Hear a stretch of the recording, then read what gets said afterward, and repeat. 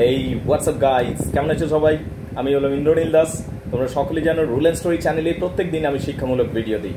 এই চ্যানেলটা হলো ইন্দ্রনীল দাস চ্যানেল এই চ্যানেলে আমি প্রত্যেক দিন শুধুমাত্র ইংলিশ অনার্স ইংলিশ এম এবং ইংরাজি স্পোকেন ইংলিশ অর্থাৎ ইংরাজি বিষয়, বিষয়গুলো আলোচনা করে থাকি। আজকে আমি একটা খুব গুরুত্বপূর্ণ বিষয় নিয়ে আলোচনা করব। কি হচ্ছে বিষয়টা?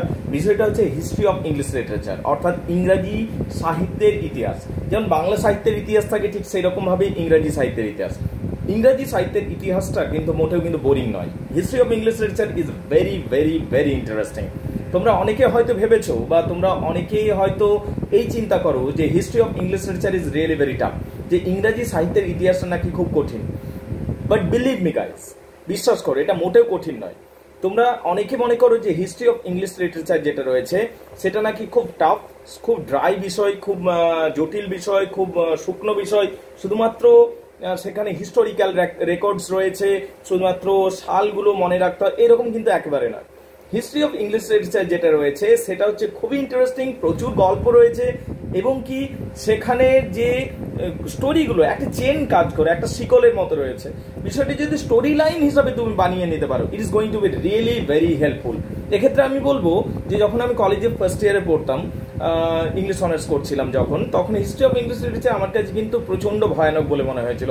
It was really a horrible subject for me history of English literature কিন্তু পরবর্তী সময় যখন আমি সমীরন মাজিল্লা স্যারের কাছে গেলাম, রঘুনাথপুর থেকে আমি যখন বর্ধমানে পড়তে যেতাম, এতটা ডিস্টেন্স পার করে, স্যারের কাছে যখন আমি প্রথমবার হিস্ট্রি অফ ইংলিশ লিটারেচার পড়ছিলাম বা জানলাম first class on the very first class প্রথম দিনেই, আমার সমস্ত ভয় যেন গায়েব হয়ে গেছিল, একেবারে অদৃশ্য হয়ে গেছিল।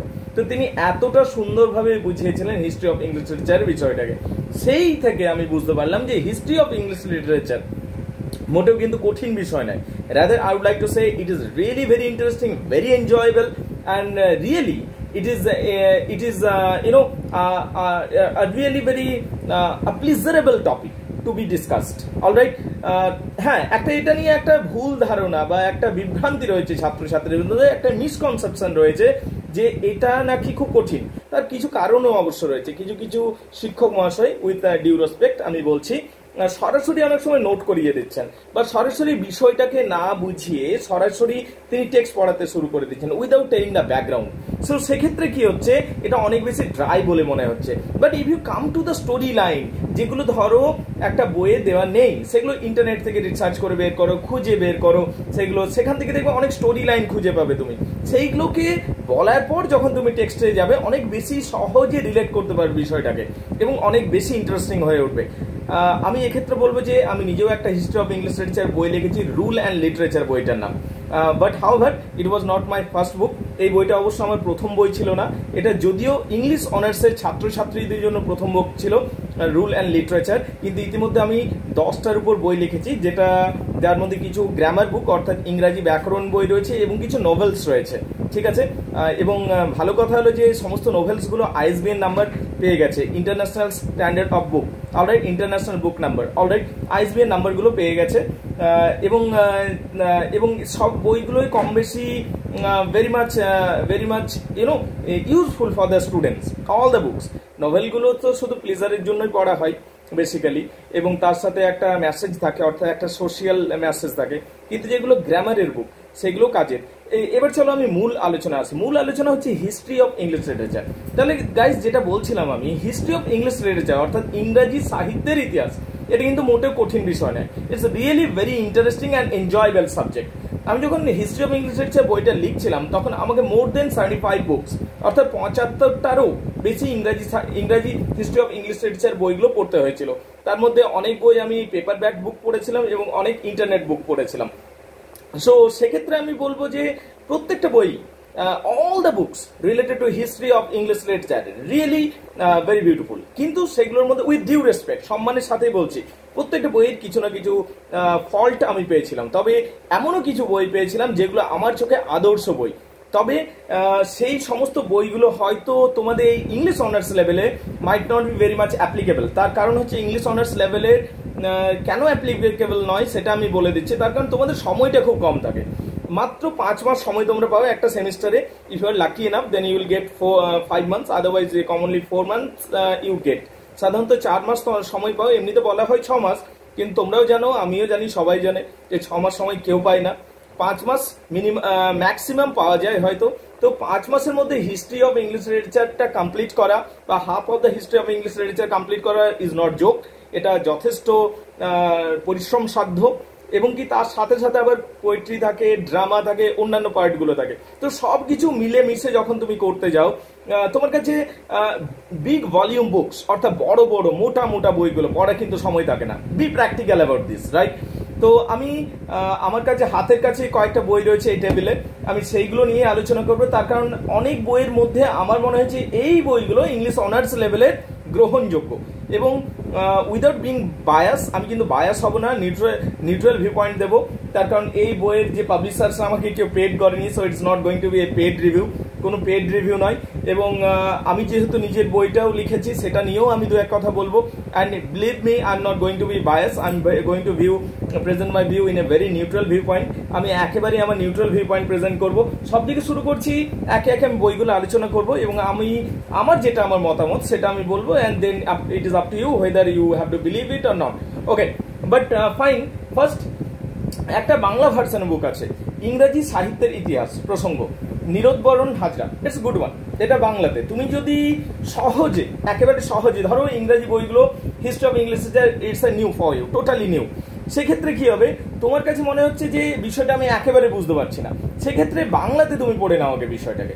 বাংলাতে পড়ে নাও, ওই বিষয়গুলো, যা যা তথ্যগুলো রয়েছে, বাংলাতে সহজভাবে দেওয়া আছে। So I think it's a good book ইংরাজি সাহিত্যের ইতিহাস এটা বাংলাতে সহজভাবে বোঝানো হয়েছে। আমার মনে হয় এটা একটা ভালো বই, কিন্তু ভলিউম ভলিউমটা এটা পেজ রয়েছে আই থিঙ্ক থ্রি ফিফটি তিনশো পঞ্চাশটা পাতা। হতে পারে তোমার সেমিস্টারের জন্য একটু প্রবলেম হতে পারে। তার কারণ সেমিস্টার বেসডে তোমাকে পেজটাও খেয়াল রাখতে হবে মানে কন্টেন্টটা তুমি তুমি এটা আগেকার দিনের মতো শুধুমাত্র তোমার ভালো লাগে বলে তুমি পড়ে গেলে এমনি হবে না। তোমাকে পরীক্ষার কথাটাও মাথায় রাখতে হবে। তাহলে এটা একটা ভলিউম হয়ে যাচ্ছে but as a whole as a whole I like to say it's pleasurable very much pleasurable to read এই বইটি কিন্তু একটা ভালো বই আমি মনে করি। তাহলে এই বইটা সম্বন্ধে আমি বললাম, এরপরে আসছি ডেভিড ডাচেস। ওকে দুটো আছে David Daiches David Daiches best I think কিন্তু ইংলিশ অনার্স লেভেলে কিন্তু নয় মনে হয়, আমার মনে হয়। ডেভিড ডাচেস বেস্ট বললে বোধহয় বেশি বলা হয়ে গেল বেস্ট বলা যাবে না, কিন্তু ইংলিশ অনার্স স্তরে এটাকে একটা really good one good one really good one David Daiches. কিন্তু সমস্যাটা হলো, এই যে ধরো ডেভিড ডাচের ভলিউমটা দেখো রাইট পেজ সংখ্যাটাও আমি বলে দিই বুঝতে পারবে।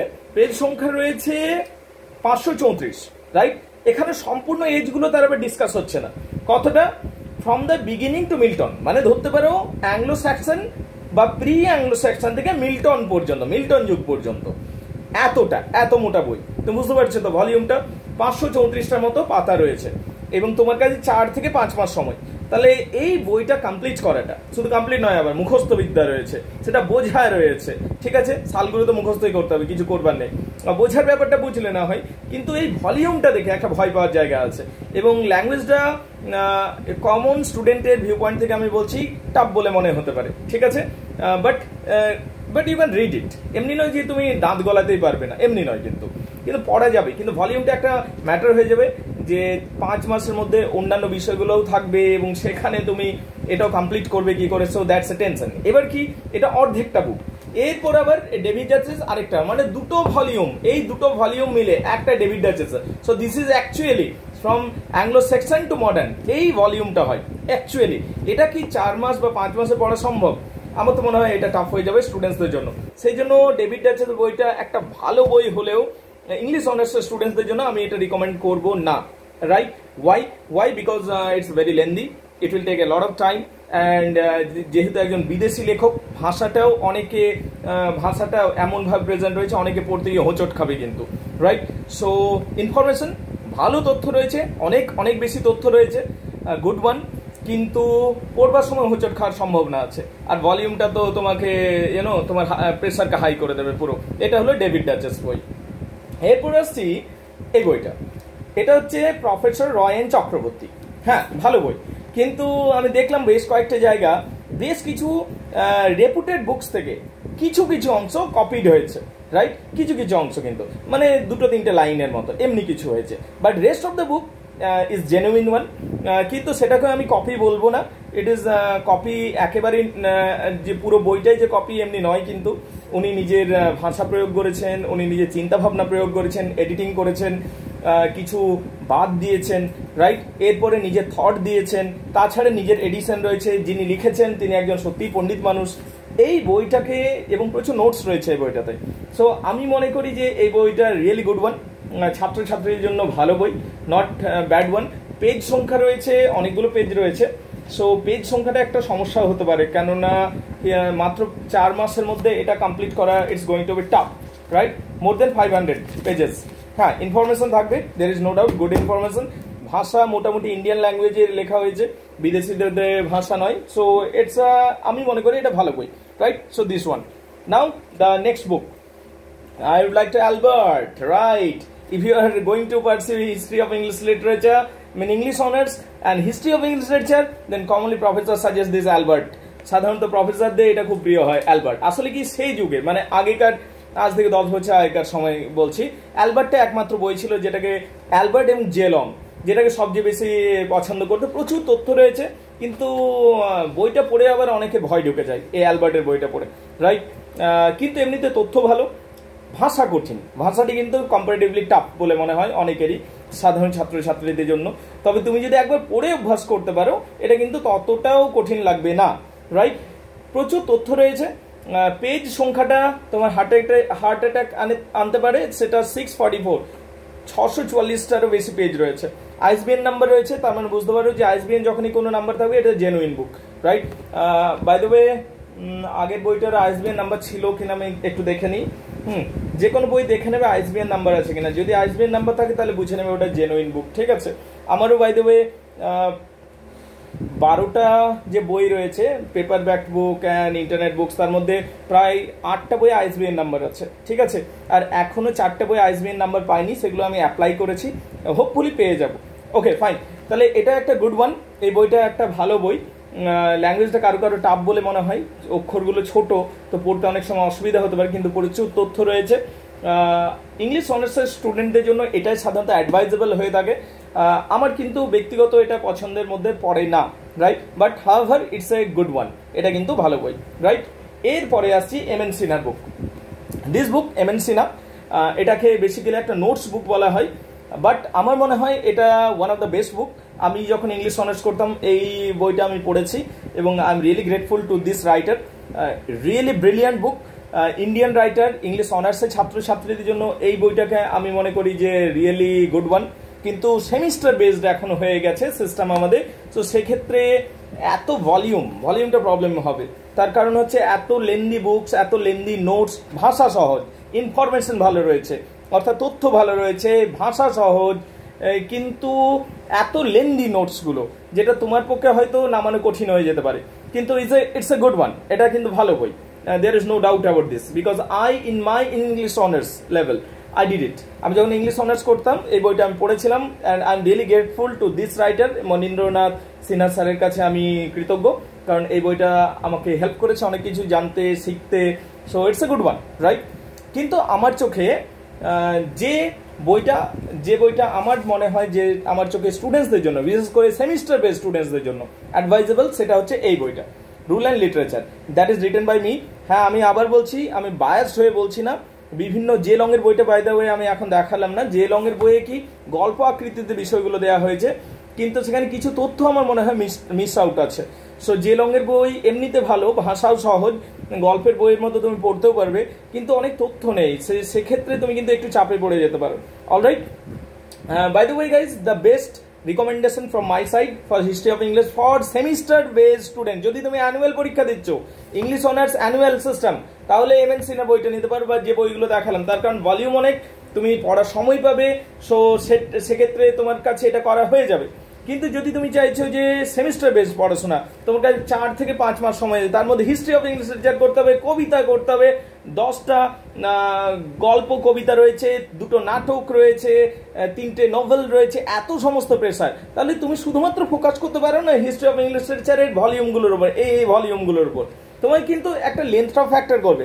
এক্ষেত্রে আমি বলব রুল অ্যান্ড লিটারেচার এটা আমারই লেখা বই। আমার মনে হয় এই বইটা আমি প্রডিউস কেন করেছিলাম সেটা আমি বলব। তার কারণ এই বইগুলোতে যে উইকনেস ছিল, সেই উইকনেসগুলোকে সরিয়ে দিয়ে আমি এই বইটা প্রডিউস করেছিলাম।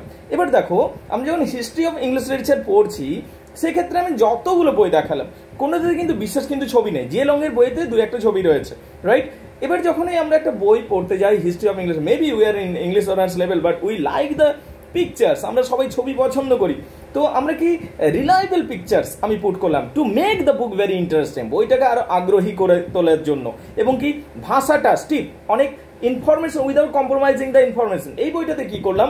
সমস্ত যত ইনফরমেশন আছে সব পুট করলাম রাইট কি? এবং কি ভাষাটাকে সহজ করে দিলাম, যেটা আমরা ইন্ডিয়ানরা ব্যবহার করি। এবং কি প্রচুর ছবি প্রয়োগ করলাম। Right and as a result this book এবং কি লেন্থটার উপর আমি খুবই খেয়াল রেখেছি the book is I think hundred pages or hundred and four pages like that ninety pages R dear so নব্বইটা পেজ কিন্তু বিলিভ মি তুমি যদি এই বইটা করে নাও হিস্ট্রি অফ ইংলিশ লিটারেচারের সমস্ত নোটসগুলো নট এ সিঙ্গেল ওয়ান একটাও মিস হবে না রাইট এই বইটার যদি সমস্ত পেজের নোটসগুলো একবার করে নিতে পারো, আর কি ভাষাটা যেহেতু সহজ প্রত্যেকটা জিনিস তুমি বুঝতে পারবে। একটাও তোমার মিস আউট হবে না। I agree right and I am not going to give you just any hyperbolic thought but if you just read it I hope that you can get it suppose Anglo স্যাক্সনে তো এখানে দেখো ছবি আছে। ছবি থেকে তুমি বুঝতে পারবে it makes the very interesting alright তারপর তথ্য রয়েছে। সাপোজ পরের পেজটাতে এলাম। সেখানেও তুমি দেখতে পাবে বিউল বিউল হচ্ছে হিস্ট্রি অফ ইংলিশ লিটারেচার একটা খুবই ইন্টারেস্টিং পোয়েট্রি এখানে দেখবে বিউল যে গ্রিন্ডেলের সাথে লড়াই করছে ফায়ার ড্রাগনের সাথে লড়াই করছে, এইরকমভাবে প্রত্যেকটা পেজ যে পেজটা তুমি উল্টাবে। আচ্ছা পরের পেজটাও তুললাম। যেমন ধরো অ্যাংলো সেকশন যে এবিসিডিগুলো কেমন ছিল? রাইট সেগুলো দেওয়া আছে, এখানে ছবিটা দেওয়া আছে রকগার এবং Beowulf Beowulf epic or not তাহলে প্রত্যেকটা পেজে relevant pictures is pictures are added ভাষা সহজ করা হয়েছে। ইনফরমেশন প্রচুর পিক আপ করা হয়েছে বিভিন্ন বই থেকে। এইভাবে দেখো, আসলে ফ্যাক্ট হচ্ছে হিস্ট্রি তো কেউ লেখে না। কোনো হিস্ট্রি রাইটারই হয় না আসলে। সবাই হিস্টোরিক্যাল রেকর্ডগুলো নিজের মতো করে প্রেজেন্ট করে। আমিও সেটাই করেছি। সেভেন্টি ফাইভ বুকস পঁচাত্তরটা বই ভালো করে পড়েছি রিড আউট করেছি, সেখান থেকে best and best information pick up করেছি রিলিভেন্ট পয়েন্টস তুলেছি এবং তারপর রিলিভেন্ট পিকচার্স দিয়ে পুট আপ করেছি। তাই আমার ওপিনিয়নে যদি তুমি ইংলিশ অনার্স করছ ইংলিশ অনার্সের জন্য এই বইটা সেমিস্টার যদি তোমার সেমিস্টার বেস আর যদি অ্যানুয়াল বেস তাহলে আগের যে বইগুলো বললাম, সেগুলো নিতে পারো অবশ্যই। যদি তোমার সেমিস্টার বেস তাহলে কিন্তু হিস্ট্রি অফ ইংলিশ লিটারের জন্য রুল অ্যান্ড লিটারেচারটা নিতে পারো। তার কারণ এটা তোমার টাইম সেভিং এবং কি ভাষা সহজ পিক্টোরাল ছবি দিয়ে বুঝতে সুবিধা হবে, এবং কি অ্যাজ এ নোটস দেওয়া রয়েছে। তাহলে কি নোটসের জন্য তোমাকে ছুটতে হবে না। তাহলে আই হোপ গাইজ দ্যাট কোন বইটা ভালো এ বিষয়ে তোমরা যে আমাকে বারবার কমেন্ট করছিলে যে হিস্ট্রি অফ ইংলিশ লিটারেচার কোন বইটা ভালো এ নিয়ে আপনি, আপনার মতামত দেন sir so I have given my opinion I hope that you will be agree and I it is up to you that which book you will you would like to purchase তুমি কোন বইটা কিনবে। আর হ্যাঁ আরেকটা factor আছে যেটা আমি বলে দিতে যাব দামগুলো। সো সেক্ষেত্রে ফ্যাক্টর করবে কারণ whenever going to buy a book it is always uh, we think about pocket. Suppose monindranath sinha it costs about 300 rupees all right? Uh, albert এই বইটাও তার কারণ আমরা ছাত্রছাত্রী তো যখন আমরা ছাত্রছাত্রী অবস্থায় থাকি আমাদের কিন্তু নিজের পকেটের কথাটা ভাবতে হয়। Because we cannot buy all the books right we have to think about the bus fare train journey and all the all the things of course so এই বইটা যেটা অ্যালবার্টের বই সেটা আছে two thirty five printed price alright এখন যদি এই বইটার কথা বলি, সে রয়েন Chakraborty it is good one but the cost তার কারণ সব মিলেমিশে তুমি একটা ওপিনিয়ন নিতে পারবে। এটা two hundred twenty rupees so this one এবারে যদি আমি বলি ডেভিড ডাচেসের বইটা David Daiches three hundred ten three hundred ten printed প্রাইসের কথা বলছি আমি right and it is two hundred it is 290 rupees, right? And this one 250 rupees this one. But uh, again if you compare with the rural literature i think it is 99 rupees below than 100 rupees so these are these are my opinion about these books right so it is up to you যে তুমি কোন বইটা পড়বে কোন বইটা purchase করবে কিন্তু আমি আমার মতামত দিলাম আই হোপ এই ওপিনিয়নটা তোমাদের অনেক বেশি কাজে লাগবে আমার মতামত তোমাদের সাহায্য করবে সঠিক বই বেছে নিতে আর তাছাড়া সব বইই ভালো সব রাইটারই ভালো don't be worried about that যে কোনো বইয়ে নিয়ে নাও। সেটা ধরে যেন তুমি যেন বুঝতে পারো। ওর ভাষাটা বুঝতে পারো, লেখাটা বুঝতে পারো। তোমার যেন নোটস পড়তে সুবিধা হয়। ব্যাস এইটুকু। Thank you thank you very much indeed